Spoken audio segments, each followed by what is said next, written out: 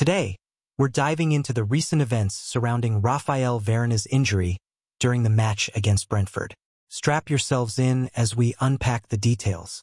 During the intense clash with Brentford, Varane was forced to make an early exit from the game, being substituted at halftime.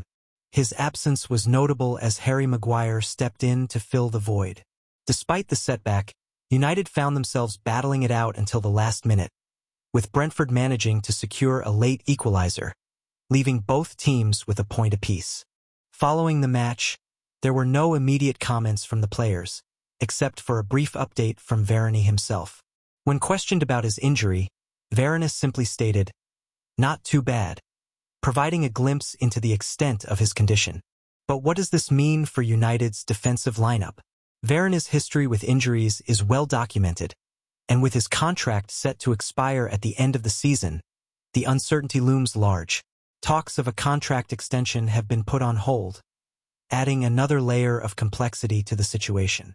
Before we continue with the news, I'd like to take a moment to remind you to subscribe to our channel if you haven't already. Don't forget to hit the notification bell so you never miss an update from us.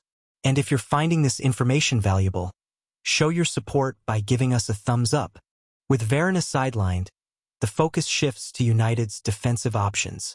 Manager Erik Ten Hag remains cautious about the extent of the injuries, indicating that Varane's substitution was a precautionary measure.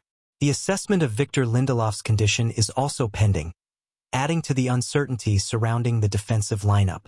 In conclusion, as United navigates through the challenges of injuries and contract negotiations, the resilience of the team continues to shine through.